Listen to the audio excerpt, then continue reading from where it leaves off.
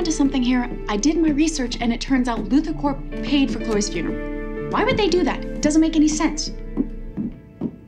I guess the real question to ask would be why would somebody bury an empty casket for nothing? Right, Clark? Clark?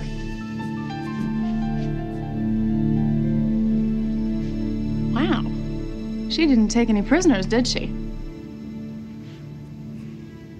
Lana, cute, smart, gutsy, and way too much for you to handle.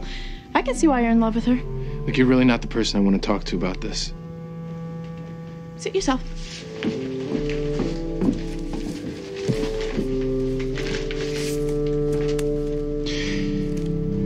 It's just. I knew she'd be dating other people. But?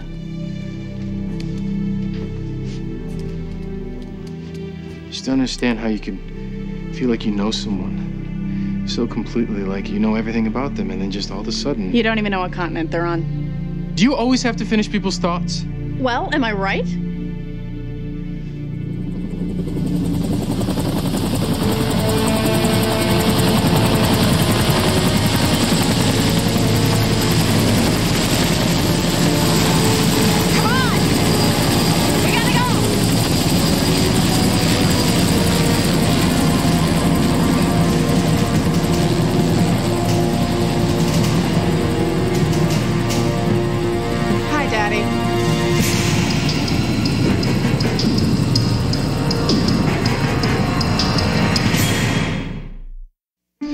I thought we had an understanding. You were to stay away from that crime scene.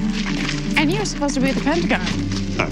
They sent me out to Fort Ryan to oversee some maneuvers. to keep an eye on me. Is that it, boss? Drop it low. Why? I'm obviously onto something here. You wouldn't be calling out the birds if I was late for dinner.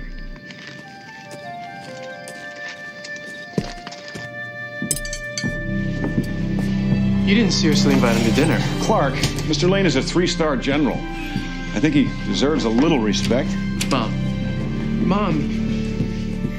This is some place you got here, Mr. and Mrs. Kent.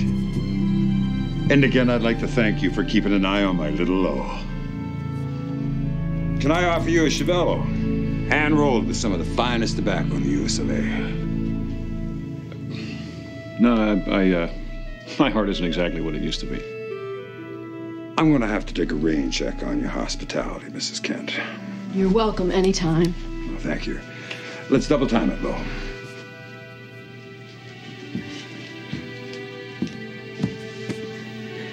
This is about Chloe. Clark, find the connection to LuthorCorp. Good night now.